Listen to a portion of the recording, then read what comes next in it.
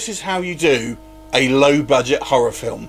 This one is called The Dead Room, a 2015 New Zealand production directed by Jason Stutter.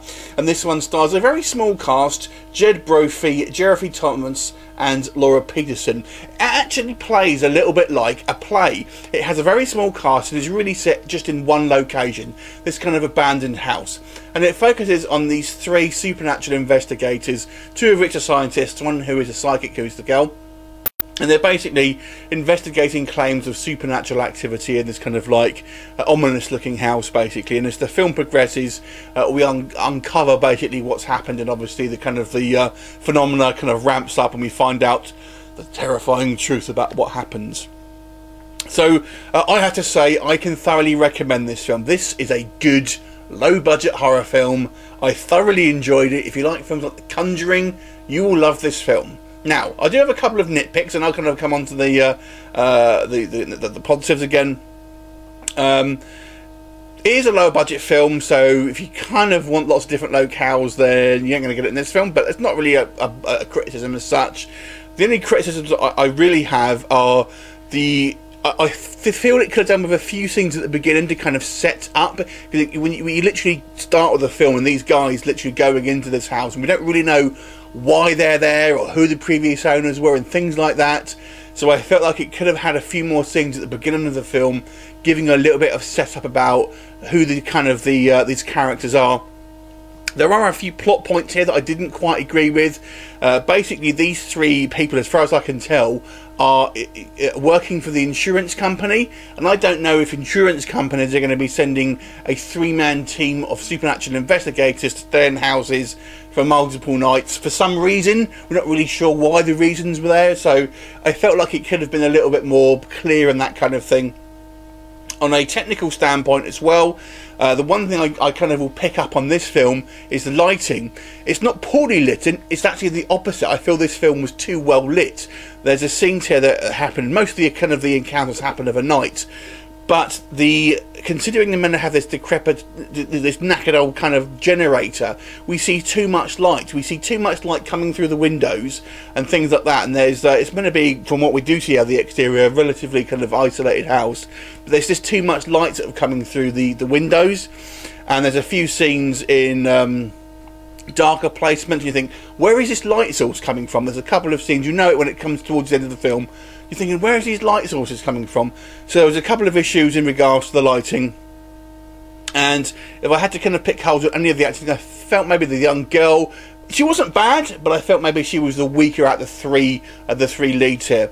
But now on to the positives. Like I said, this was a very well crafted low budget film. And obviously when you, you're dealing with a low budget I feel that the best thing to do is not bite off more than you can chew. And this film doesn't it. Does it so well. It kind of spends its money so well and creates a professional looking well crafted um, genuinely spooky film. Now this is a bit more of an old school ghost story. So this is not a flashy effect this is not a gory film. Um, but you know, it is relies on kind of old school. This is why I kind of compare it to The Conjuring because it kind of reminds me of a low budget version of that, really. So I, it, I kind of liked it. I kind of like the spookiness. I kind of like the slow build of it, and I kind of like the the supernatural mystery. The thing that I really liked uh, about this is the way the characters are portrayed here. Now, normally in these films, you kind of get uh, somewhat stereotypical characters, and they'll kind of act in certain ways. I like the professionalism displayed by the three kind of characters here. I mean, these are guys that you know you have two older men. It was one kind of well, one older guy, one kind of middle-aged guy, and one kind of young girl in her kind of mid-twenties, I guess. So you've got a, a very different kind of like spectrum of ages here, but they all seem to treat each other relatively professionally and kind of are quite courteous and stuff like that.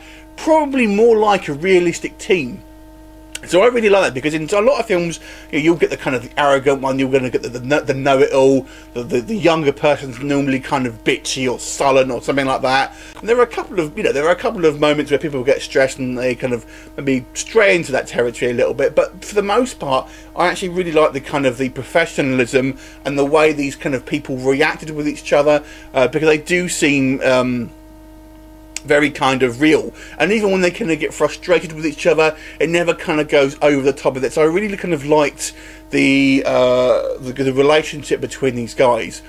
And like I said, this is not a, a specifically an effects-driven film. There's kind of one external shot at the beginning of the film, which is clearly on a green screen, but I can kind of forgive that. Uh, but and as we go through the film, we see these kind of these ghostly goings on, and it's all kind of practical effects. There's not kind of the CGI stuff here, um, and it's mostly kind of poltergeist type activity. However, uh, I have to say, I wasn't expecting the, kind of the last sort of 10 minutes, 10 15 minutes or so, when it kind of really changes gears and ramps up a little bit. Some people may be put off by that, I feel. I actually quite liked it because I kind of wasn't expecting it. I was more expecting kind of the kind of the uh, the quieter ghost story, but it kind of does ramp up at the, the end. Um, so I did enjoy that. But I can see maybe some people would have preferred the kind of the, the pace of the story um, to sort of remain consistent. But I kind of liked it, to be honest with you. But overall, this was a damn good film. I really enjoyed this film, and I like you know good ghost stories, and, and I you know I watch a kind of a lot of low budget films, and a lot of the time these, these people kind of make films and they're just they're just too ambitious for the budget that you have, and they cut corners and it ends up looking crap, and you just have a crappy film. This one you know, fantastic effort. I have to say, really, really good.